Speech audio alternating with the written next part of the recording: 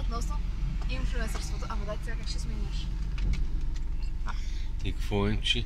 Я пак продължи са нататък. Просто обяснявам на тати това, че Бог му е дал толкова хора, които да го уважават и, и да се вслушват в нещата, които казва, че това увеличава отговорността, която той има. Защото той може да каже нещо и хората да се съгласят с него и това, което той да е казал, да не е вярно, да не е истина. Или дори, още по-лошо, дори да е истина, да е нещо, което води към лошо.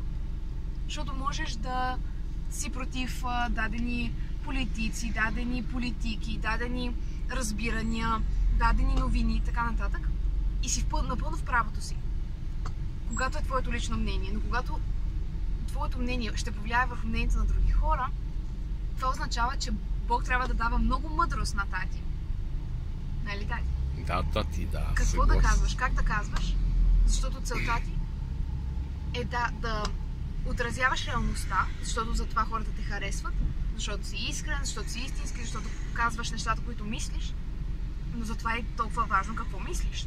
Защото сега едва ли утре ще почнеш да казваш обичам всички, нека се прегърнем и да станем хипита. Но не е и това целта. Но е целта да мислиш хубави неща, за да можеш да предадеш хубави неща. И те пак ще са истина, ти пак ще си истински. И така ще е още по-хубаво на теб, защото твоето